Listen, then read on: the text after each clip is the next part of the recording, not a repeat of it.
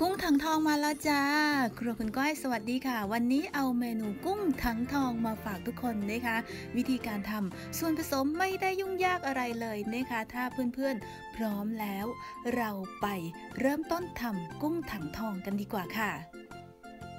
เริ่มต้นใส่เนยลงไปประมาณ 1 ช้อนโต๊ะบนกระทะนะคะ จากนั้นก็ตามด้วยพริกขี้หนูสดอีก 1 ช้อนโต๊ะ แต่ถ้าใครทานรสจัดก็จัดเต็มกันไปเลยนะคะสำหรับพริกค่ะ แล้ววันนี้เราใช้อาหารทะเลแช่แข็งประมาณ 1 กิโลค่ะ นี่คือก้ามปูที่เรา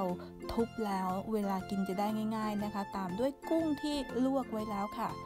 แล้วก็เอามาคนๆๆให้เกิดความร้อนหน่อยนึงนะคะ เพราะวันนี้เราใช้อาหารแช่แข็งค่ะ ถ้าเพื่อนๆที่ใช้อาหารสดก็นำไปลวกให้สุกแล้วค่อยนำมาคลุกเคล้ากับเครื่องนะคะ ตามด้วยผงนัวค่ะ แซ่บมากใส่มากแซ่บน้อยใส่น้อยชอบความแซ่บอย่าได้แคร์นะคะ จากนั้นตามด้วยผงกะหรี่อีก 1 ช้อนชาค่ะ แล้วก็น้ำมันพริกเผาอีก 3-4 ช้อนโต๊ะ น้ำตาลพอให้กลมกล่อมอีกครึ่งช้อนชานะคะ แล้วก็ตามด้วยพริกไทยข้าวโพดค่ะ จากนั้นก็คนคนคนให้ส่วนผสมเข้ากันดี เมื่อสุกกลิ่นหอมเตะจมูกก็โรยด้วยใบโหระพา ตามด้วยกระเทียมสับแล้วก็ปาปริก้าสับค่ะ พริกทอดอีกนิดหน่อยค่ะ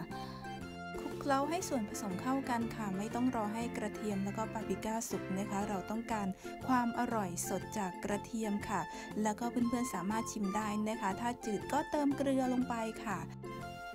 แล้วก็พร้อมเสิร์ฟกันแล้วสำหรับเมนูกุ้งถังทองอีกหนึ่งความอร่อยที่เราภูมิใจนำเสนอกันนะคะ เอาเป็นว่าใครที่ชอบกินกุ้งถังทองนะคะ ลองทำกันดูไม่ได้ยุ่งยากอะไร